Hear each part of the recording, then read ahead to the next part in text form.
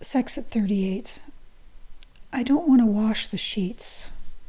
Would lose the kelp, the duck potatoes, the fish.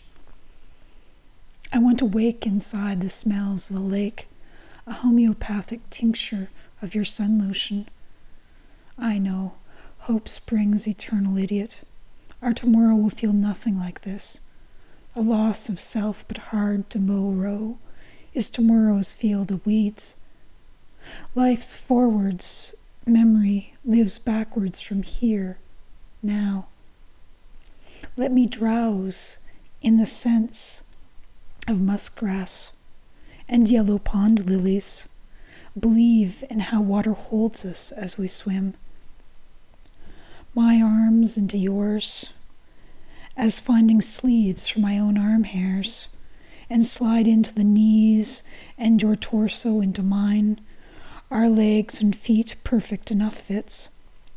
Lying behind you, I'm the big spoon, with my fingers laced through your hair. I could love you down to your particular whistle squeak, body quake breath. And when I wrap my scarf around you and me, when I lean in, I marry you again and again and again. That was from Sex in Sevens from Above Ground.